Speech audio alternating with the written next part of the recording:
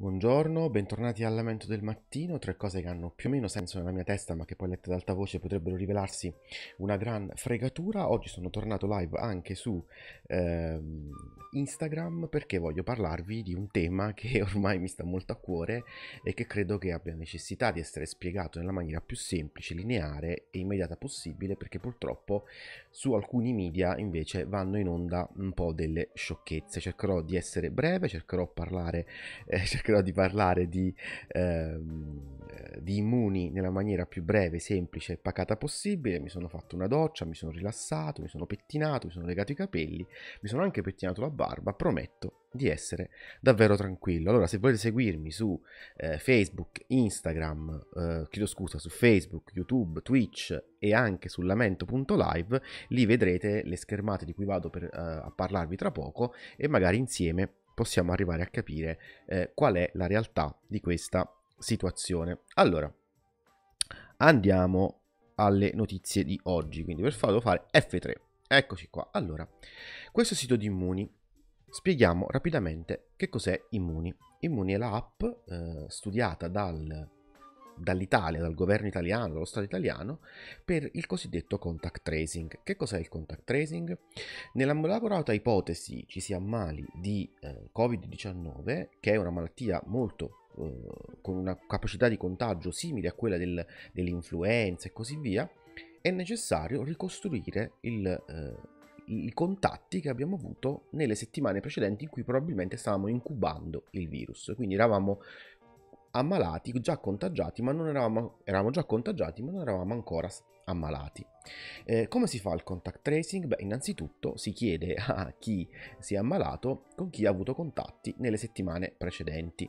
Quindi eh, si va a guardare eventuali colleghi, amici, familiari, eh, se si è andati in qualche posto particolare, si è pensato di sfruttare anche la tecnologia per integrare queste informazioni. Per quale motivo? Immaginate un lavoratore che va uh, al lavoro la mattina, prende i mezzi pubblici, prende un taxi, prende un treno e così via. Non conosce, non è in grado di fornire informazioni su chi ha incontrato in quei momenti.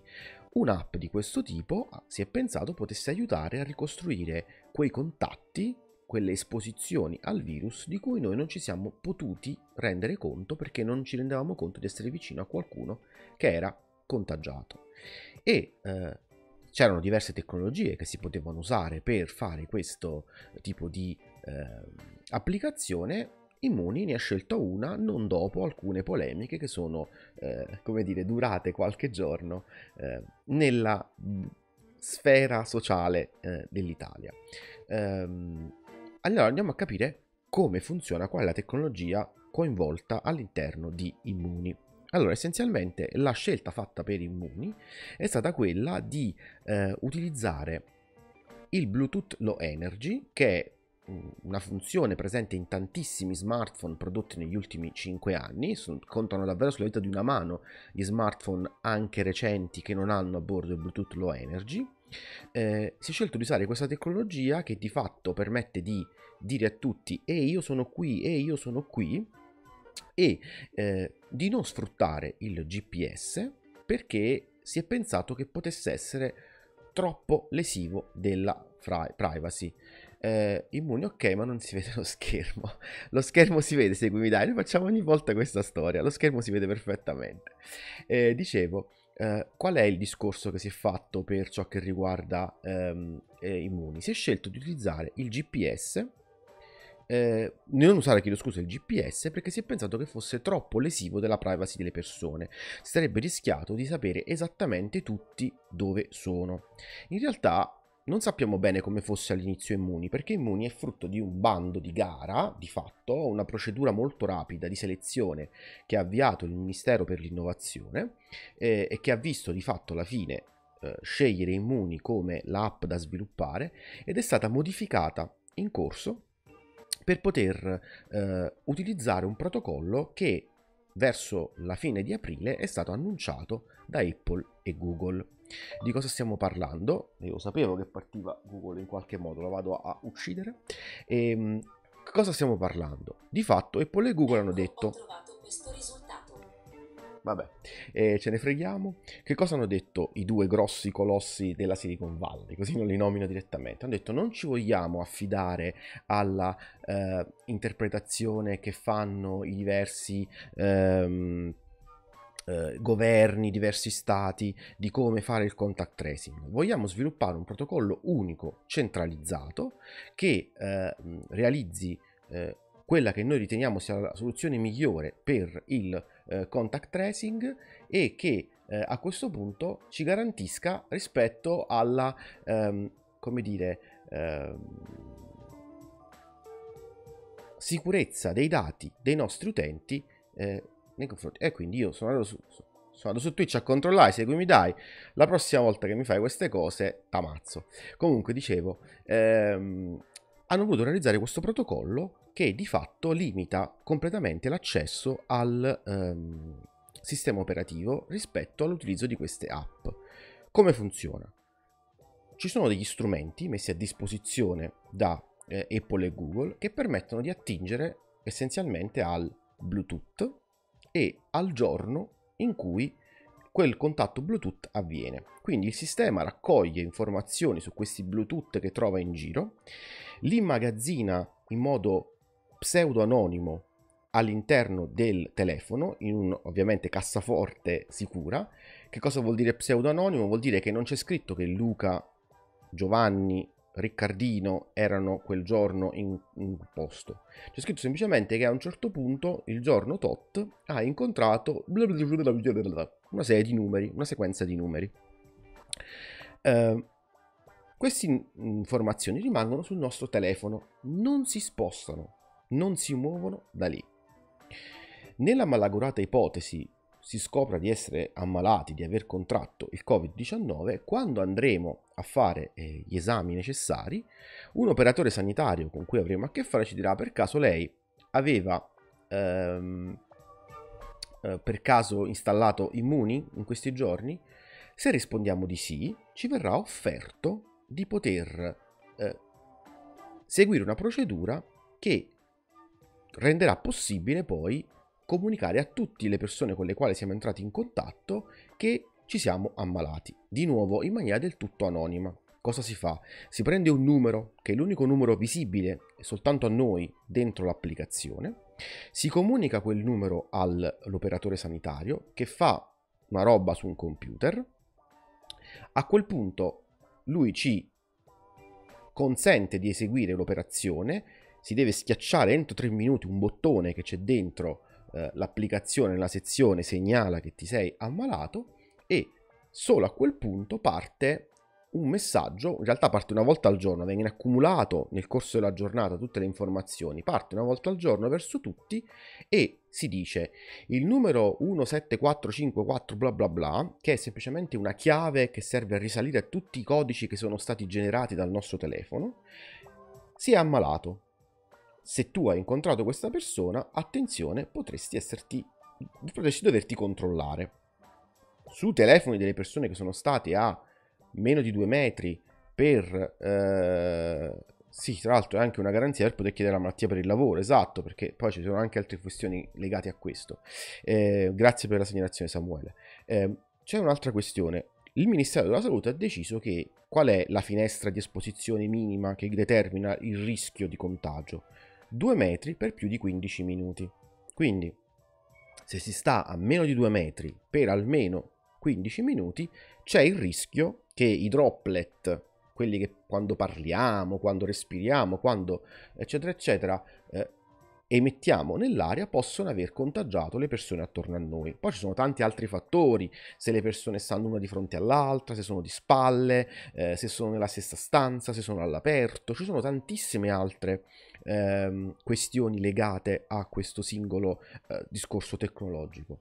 Però bisognava fare un discrimine la tecnologia Bluetooth tra l'altro non è precisissima nel misurare le distanze, si è detto se 2 metri 15 minuti sono più o meno rientrano nella finestra, allora c'è il rischio. Perché si è fatta questa decisione? Per ridurre al massimo i cosiddetti falsi positivi. Quindi il rischio che non si sia entrati veramente in contatto con qualcuno, ma su 15 minuti di tempo, se sei stato per 15 minuti a meno di 2 metri, è molto probabile, quindi si generano solo in quel caso le notifiche che poi danno accesso prioritario agli esami per accertare che eh, se si è o meno stati contagiati dal Covid-19. Ci sono, c'è il codice di sorgente di Immuni disponibile su GitHub, quindi si può andare a verificare come funziona l'applicazione, sarebbe bastato fare quello, rivolgersi a qualcuno con le competenze per farlo, ma in fondo al sito di Immuni viene riportato per semplicità una serie di informazioni che sono fondamentali. Immuni non sa chi sei, non, non, ti chiede il nome, non ti chiede dove sei nato, quando sei nato, eccetera, eccetera. L'unica cosa che ti chiede è la regione nella quale abiti. E lo fa per avere un minimo di idea di dove ti trovi. Anche perché poi, quando poi dovrai andare a fare eventuale comunicazione a un operatore sanitario, servirà a sapere in quale regione appartieni, visto, a quale regione appartieni, visto che il servizio sanitario adesso è gestito a livello eh, regionale. Non ti chiede il numero di telefono e non accede alla rubrica telefonica, lo potete verificare voi stessi, non ti chiede il tuo indirizzo email e non accede alle tue email, di nuovo lo potete verificare voi stessi, non sa chi è che incontri, non sa dove lo incontri, non sa quindi la, pos- la tua, non conosce la tua posizione GPS e ehm, non sa neppure esattamente l'orario a cui lo incontri, perché le annotazioni di quei codici che vengono generati, che vanno dentro il telefono, non sono legate all'orario, sono legate al giorno. È una decisione che hanno preso di nuovo Apple e Google. Quindi ricapitoliamo, e di nuovo c'è Google che mi risponde, ma non importa. Eh, ricapitoliamo la, la situazione qual è. Abbiamo questa applicazione sviluppata prima da un'azienda che si chiama Bending Spoons, che poi la cede gratis allo Stato italiano che la finisce insieme a Bending Spoons, aggiunge il protocollo sviluppato da Apple e Google per il contact tracing che loro chiamano exposure notification, la mette a disposizione gratis di nuovo sugli store. Per il momento c'è su quello store di Apple, sullo store di Google, ma ci sarà anche sullo store di Huawei nel giro delle prossime ore. Eh, questa applicazione utilizza soltanto il Bluetooth. È vero, quando attivate il Bluetooth su Android vi chiede di attivare anche il GPS. Lo fa perché gli sviluppatori di Android hanno deciso di abbinare insieme le due funzioni per ragioni di sicurezza. Hanno pensato che fossero due tecnologie che dovessero essere garantite allo stesso livello di sicurezza e di privacy. Quindi se si attiva una si attiva anche l'altra. Ma di nuovo, se andaste a guardare il codice di Immuni e se leggeste come è fatto il protocollo eh, sviluppato da Apple e Google, scoprireste che non c'è assolutamente nessuna richiesta per ciò che riguarda ehm, il GPS. Quindi anche questa è un'informazione pubblica, tra l'altro, non volerla andare a guardare eh, è una roba abbastanza scandalosa. Comunque, questa applicazione cosa fa? Genera dei codici numerici casuali pseudo-anonimi li condivide con tutti quelli che sono attorno a noi. Se c'è qualcun altro con la stessa applicazione raccoglie quell'info, quell'info, quel dato, quel codice, solo e soltanto quando quel codice resta visibile per più di 15 minuti e per una distanza stimata inferiore ai 2 metri, lo registra in un eh, elenco e lo conserva per massimo 14 giorni.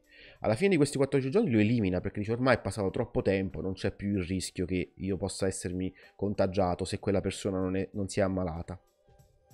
Eh, se nel caso sfortunato io mi ammalo, vado a farmi i controlli, mi dicono che ho il covid e ho immuni, posso decidere, non è obbligatorio, di informare tutti quelli che ho tenuto per più di 15 minuti a meno di 2 metri che, del fatto che mi sono ammalato ma non arriva la notifica che Luca è ammalato, arriva una notifica che dice un codice tal dei tali, verifica sul tuo telefono se per caso l'hai incontrato, si è ammalato, potresti doverti controllare.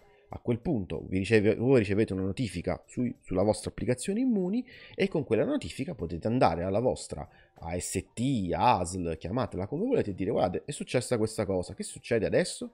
E loro vi diranno, beh signore o signora, Adesso la controlliamo. Eh, altra questione, quante persone devono usare Immuni? Allora, c'è un'interessante riflessione, ed è la prima segnalazione che vi ho fatto oggi eh, nell'elenco delle notizie, che eh, è un'interessante riflessione fatta dal professor Stefano De Nicolai, che è un docente, io conosco personalmente, quindi lo dico subito, ci conosciamo, ci diamo del tu, però è un professore universitario che insegna all'Università di Pavia. Eh, questo professore ha fatto una eh, riflessione molto interessante sulla percentuale di utenti che deve installare Immuni. Eh, le stime iniziali parlavano di circa il 60% della popolazione perché questa app fosse efficace. Ci sono altre stime che girano il 30%, il 15%, eccetera, eccetera. La prima cosa da dire è che eh, non è una maratona. Chiedo scusa, non sono i 100 metri, è una maratona.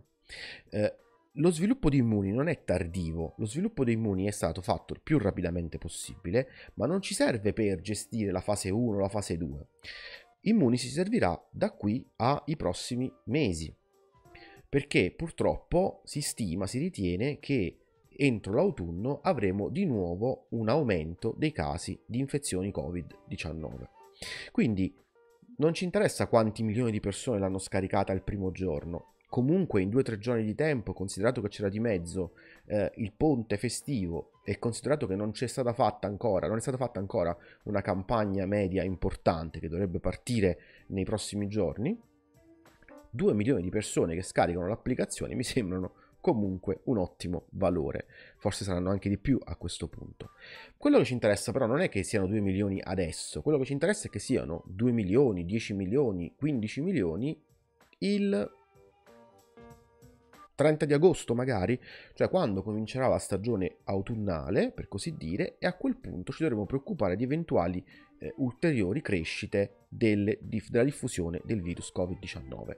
Quello che dice il professor De Nicolai è molto interessante. Dice, è vero, l'ideale sarebbe che ce l'avessimo tutti installata immuni. E se ciò non avvenisse? Beh, tutto dipenderà da quanto immuni sarà eh, diffusa all'interno di alcune specifiche comunità. Se tutti i cittadini di Milano, quindi una città molto grande, se tutti i cittadini di Roma, di Napoli, di Torino o se una grossa parte di queste eh, popolazioni installasse Immuni, sarebbe un ottimo risultato. Perché ehm, significherebbe che nei posti dove c'è il massimo scambio possibile di infezioni, dove ci sono tante persone in metropolitana, nei mezzi pubblici, negli uffici, eh, nei negozi, quindi nei posti dove c'è tanta folla, se l'adozione in questi grandi centri fosse molto buona, avremmo sicuramente dato un contributo significativo al contact tracing, che ripeto non è soltanto fatto di immuni, immuni è un pezzo che dovrebbe aiutare, lo dicevo all'inizio. Poi ci dovrà essere anche il contact tracing, quello umano, quindi io ti fermo e ti chiedo tu chi hai incontrato, con chi sei stato a contatto, hai frequentato qualcuno in questo periodo, quindi è un pezzo. Dicevamo, se la diffusione grandi, nelle grandi città fosse ampia, sarebbe un'ottima notizia. Se nei piccoli centri ciò non avvenisse, il paese piccolo da mille abitanti, sarebbe un problema molto inferiore per ciò che riguarda eh, l'adozione di immuni, perché il contact tracing tradizionale, quello fatto con le telefonate, con le domande alle persone, in un posto molto piccolo dove ci sono poche persone, è molto più semplice che in una grande città. Quindi, oltre a dire che devono essere tante persone a installarlo, ci, dobbiamo, ci dovremo preoccupare anche di dove e chi lo andrà a installare. E come dice Samuele, anche se poi lo continuano a utilizzare, ma ci auguriamo, visto che io ho fatto diverse prove, ho installato Immuni su tanti smartphone, onestamente io impatto sulla uh, carica della batteria non l'ho visto. Ieri sera facevo vedere i risultati ottenuti con questo che è il Motorola Edge, quindi un telefono sì, decisamente nuovo, decisamente recente, su cui è installata Immuni ed è perfettamente funzionante e posso dire che tra l'altro avendolo installato su tanti telefoni qui in casa, eh, almeno 3 o 4, si scambiano continuamente messaggi, ehm, quindi se mi ammalo verrò notificato soltanto io perché tanto sto in casa, però dicevo, eh, non ho visto un impatto significativo sull'autonomia della batteria, anzi sto cavolo di Motorola Edge non finisce mai la batteria.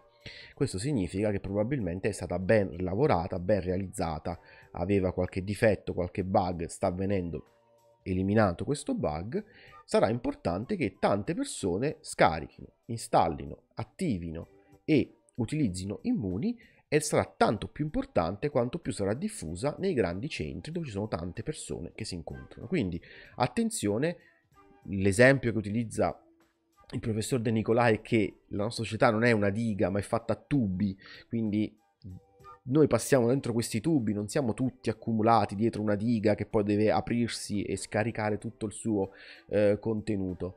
Eh, sì, Samuele, in realtà eh, non era legato ai play service sui Huawei, era legato a come veniva gestita la, il controllo dell'energia in background, ma Esatto, dici bene, è stato risolto. Da ieri è tornato tutto funzionante su Huawei Honor e su tutti gli altri smartphone. E quindi l'esempio che usa il professore è quello della, delle tubature, non della diga. Io vi invito a leggere questo contributo del professor De Nicolai, è un professore universitario, è una persona intelligente, assolutamente, molto preparata, fa delle considerazioni utili a capire come deve funzionare Immuni. Ripeto, Immuni è una, tec- è una tecnologia pensata per aiutare nel contact tracing, è stata realizzata seguendo eh, un protocollo fissato, creato, eh, realizzato da Apple e Google. Lo hanno fatto per cercare di garantire al massimo la privacy, utilizza unicamente il Bluetooth Low Energy, tutti i dati rimangono sul vostro telefono, eh, l'unica cosa che eventualmente potrà uscire dal vostro telefono se vi doveste ammalare è un singolo codice che serve a comunicare a tutti che vi siete ammalati, ma non verrà detto chi si è ammalato, verrà soltanto detto attenzione, in una certa data hai avuto un contatto con una persona che adesso si è eh, ammalata. Eh, vatti a controllare perché potrebbe darsi che siccome sei stato molto vicino per molto tempo a quella persona, anche tu possa aver contratto il Covid-19 e servirà a fermare la catena del contagio, in maniera tale che se io eh, mi sono ammalato, non lo so ancora, sono ancora sintomatico, non possa andare in giro a infettare altre persone. Eh, è, è ovvio ed è scontato che per quando l'app sarà pienamente funzionante, parliamo quindi tra circa una settimana in cui varie, i vari servizi sanitari regionali avranno attivato la parte di back-end che serve a gestire appunto le segnalazioni di chi si ammala.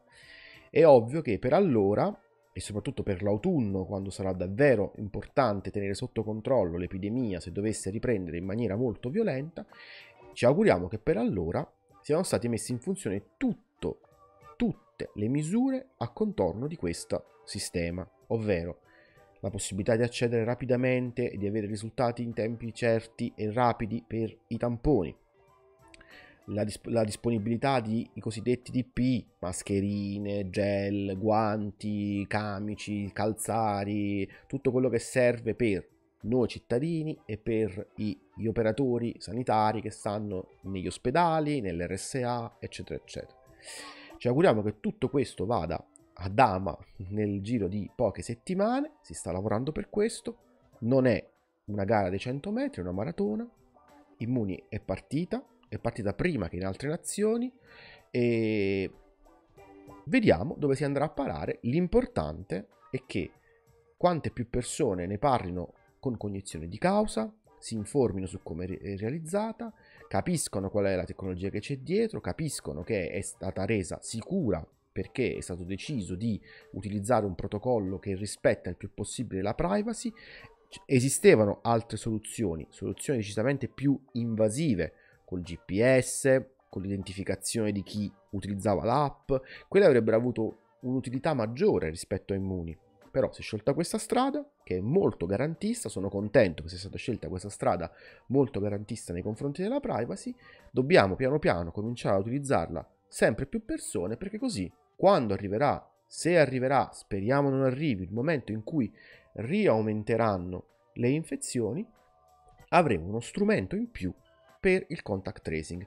Ma non è l'unico strumento per il contact tracing, a questo vanno unite altre, altre operazioni, altri processi, alcuni realizzati poi da esseri umani che chiederanno se hai incontrato i tuoi colleghi, se hai incontrato i tuoi familiari, se hai incontrato i tuoi amici, dove sei stato, dove sei andato a cena, eccetera, eccetera, eccetera. Dati li devono raccogliere i ristoranti, dati li devono raccogliere altri tipi di strutture. Tutte queste informazioni assieme serviranno a tenere sotto controllo le catene del contagio. Volevo parlarne poco, ne ho parlato per 25 minuti, mi scuso se sono stato lungo, spero di essere stato abbastanza chiaro. È una tecnologia sicura, rispettosa della privacy, che non, infa- non, impatta in maniera decisiva sulla batteria del vostro smartphone, funziona praticamente su quasi tutti gli smartphone quelli più vecchi di 5 anni, purtroppo non è una decisione che ha preso lo Stato italiano o Immuni, è una decisione che hanno preso Google ed Apple assieme per cercare di, eh, come dire, circoscrivere quello che dovevano aggiornare, sistemare per far funzionare questa tecnologia di, loro la chiamano exposure notification. Purtroppo queste limitazioni non le abbiamo decise noi, sta di fatto che parliamo comunque di tranquillamente l'80-90% dei dispositivi eh, in circolazione che possono essere aggiornati eh, e possono, essere, eh, possono montare immuni e se li installiamo tutti staremo tutti un pochino, non tanto, un pochino più tranquilli. Ringrazio il professor Stefano De Nicolai per aver trovato il tempo di cercare di spiegare qual è poi il discorso della percentuale di adozione di immuni tra la popolazione.